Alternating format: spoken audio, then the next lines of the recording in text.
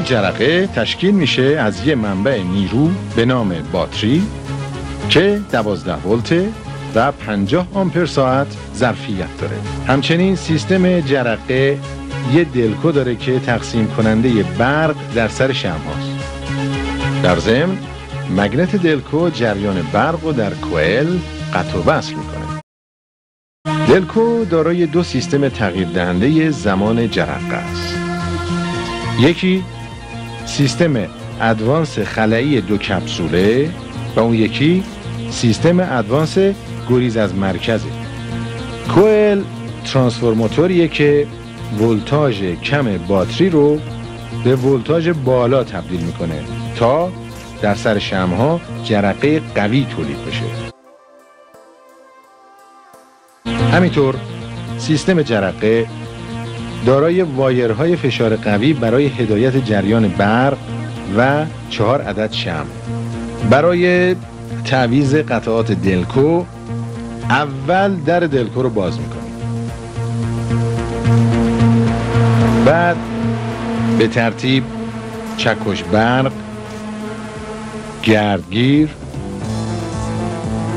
و روتور رو خارج می‌کنیم.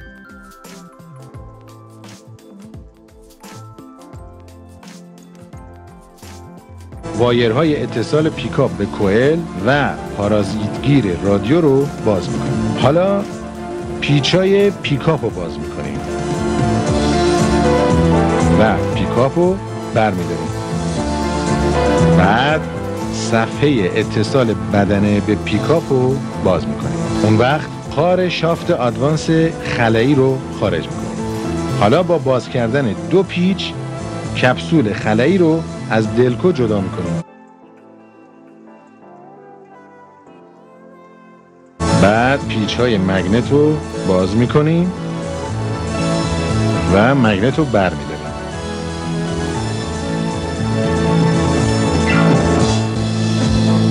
قبل از خارج کردن شافت دلکو باید شافت دلکو رو علامت گذاری کنیم تا موقع جمع کردن درست در وضعیت اولیه خودش قرار بگیره.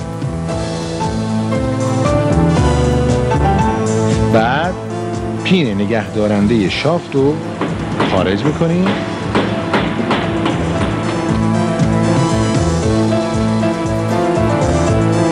و واشرم جدا می‌کنیم.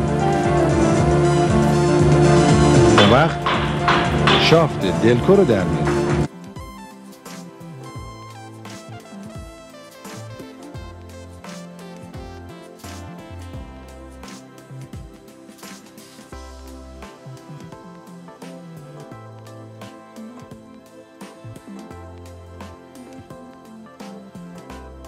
در این تصویر قطعات سیستم جرقه اتومبیل پراید رو مشاهده می‌کنید در دلکو چون با برق فشار قوی در تماسه اگر کوچکترین ترک خوردگی داشته باشه یا در صورت خرابی زغال فنر و ترمینال ها باید تعویض بشه. کوئلو باید از نظر شکستگی در برجک و مقاومت مدارهای اولیه و ثانویه کنترل کرد. مقاومت مدار اولیه یک الا یک و سه دهم اهم و مقاومت مدار ثانویه 6 الا 30 کیلو اهم باید باشه. پیکاپ مثل سیم‌پیچ کوئل حوزه مغناطیسی ایجاد می‌کنه.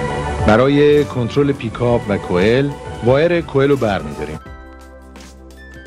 بعد سیم منفی پیکاپ رو از کوئل جدا می‌کنیم.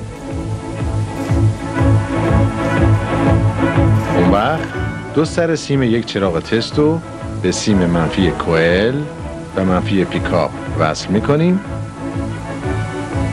و استارت می‌زنیم.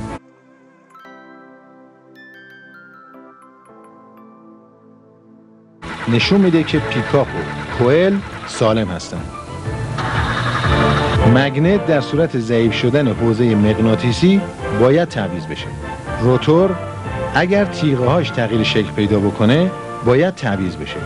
چکش برق تقسیم کننده برق توی در دلکوست و در صورت خوردگی تیغه جرقه باید تعویض بشه. کپسول ادوانس خلایی در صورت خرابی پرده های دیافراگم و ایجاد نکردن ادوانس لازم باید به طور کامل تعویض بشه. شافت دلکو با ادوانس های وزنی یک مجموعه رو تشکیل میدن. با جلو و عقب کردن تکیگاه فنرهای ادوانس های وزنی میشه زمان جرقه رو در دورهای مختلف موتور تنظیم کرد. در صورت ضعیف شدن فنرها یا خوردگی شافت دلکو باید شافت دلکو به طور کامل عوض بشه. برای تنظیم ادوانس خلایی و وزنی از جدول مربوطه کمک بگیریم. پوسته دلکو در صورت شکستگی باید تعویض بشه. همینطور در صورت خوردگی بوش های داخلی قابل تعویزن وایر اتصال پیکاپ به کوئل رو که به پارازیت گیر رادیو متصله در صورت داشتن قطع شدگی باید تعویض کرد. وایرهای دلکو و کوئل رو از نظر مقاومت عهمی کنترل می‌کنیم مقاومت عهمی این وایرها باید 16 کیلو اوم در هر متر باشه. برای جمع کردن دلکو برعکس روش باز کردنش عمل می‌کنیم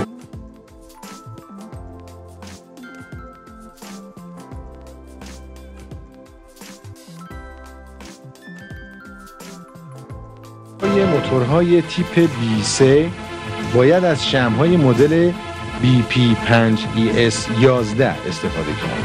اگر قصد استفاده مجدد از شمهای باز شده رو دارین باید قسمتی از شم رو که داخل محفظه احتراق قرار می‌گیره از نظر خوردگی الکترود بدنه و الکترود مرکزی کنترل و کربن زدایی کنید.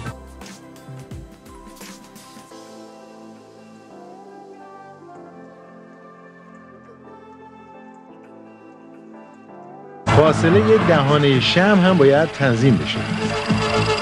این فاصله برای استفاده از بنزین بدون سرب یک الا یک و یک دهم میلیمتر و برای بنزین معمولی 75 صدم الا 85 صدم میلیمتره.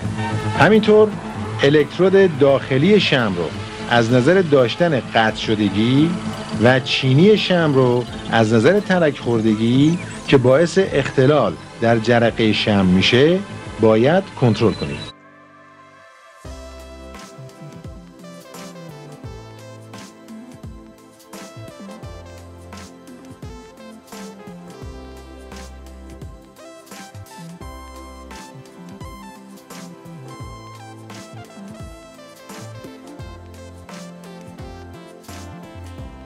توجه داشته باشین که گشتاور سفت کردن ها معادل یک و پنج دهم الا دو سه دهم کیلوگرم متر.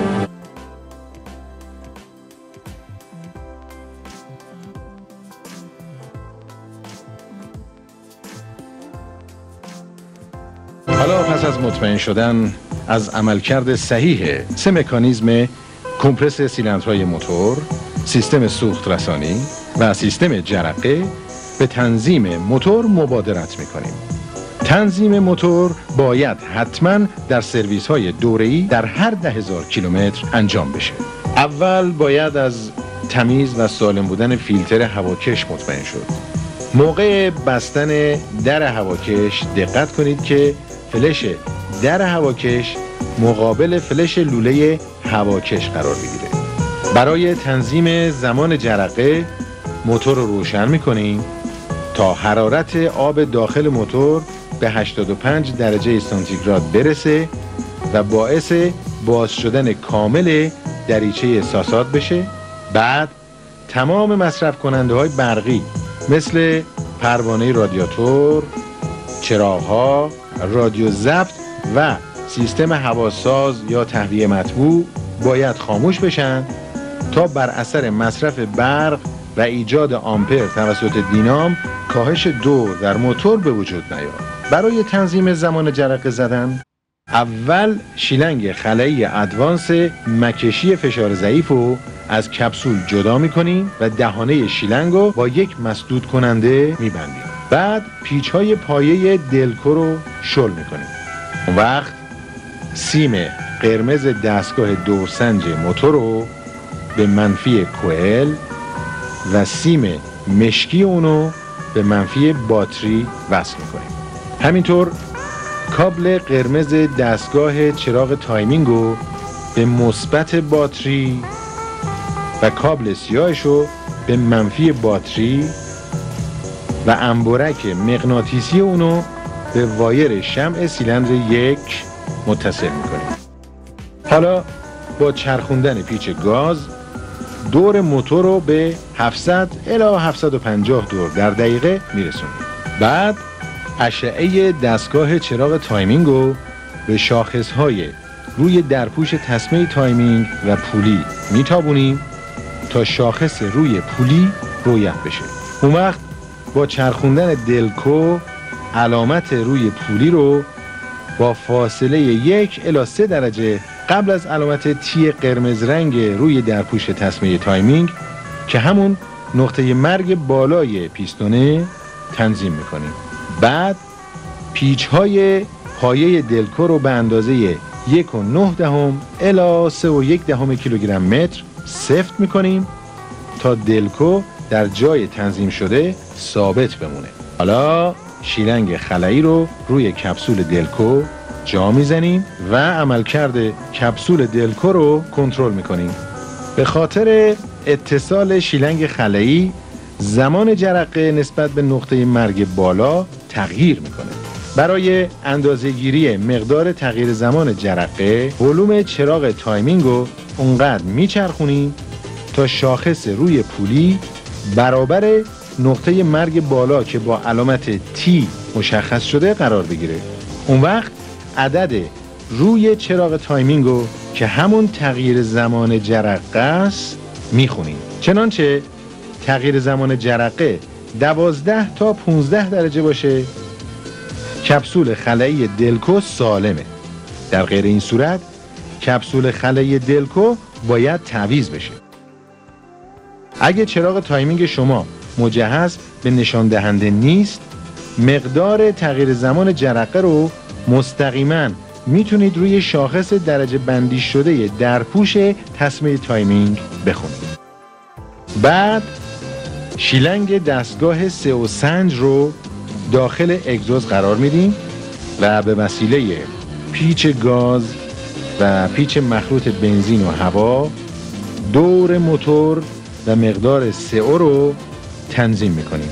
یعنی اونقدر این دو پیچ رو میچرخونیم تا دور آرام موتور به 700 الا 750 دور در دقیقه و مقدار گاز CO به یک و پنج دهم الا دو درصد برسه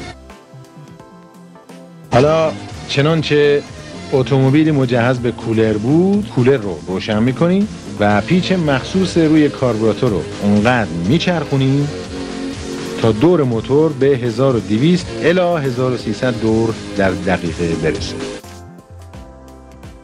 لازم به ذکره که هر وقت کولر خاموش بشه دور موتور به وضعیت اولیه خودش برمیگرده. رعایت استانداردها و اصول تعیین شده در تنظیم موتور ضروریه. مکانیک خوب کسیه که هم اطلاعات فنی خوبی داشته باشه و هم از دقت کافی برخوردار باشه. امیدوارم در هر تعمیر قبل از اینکه دستتون رو به کار بندازین از فکرتون استفاده کنید موفق باشید خدا نگهدار. فراموش نکنید که توی کانال subscribe کنید زنگوله رو به صدا در بیارید و کانال رو با دیگر دوستانتون به اشتراک بذارید. تا ویدیوی بعدی روز و روزگار خوش.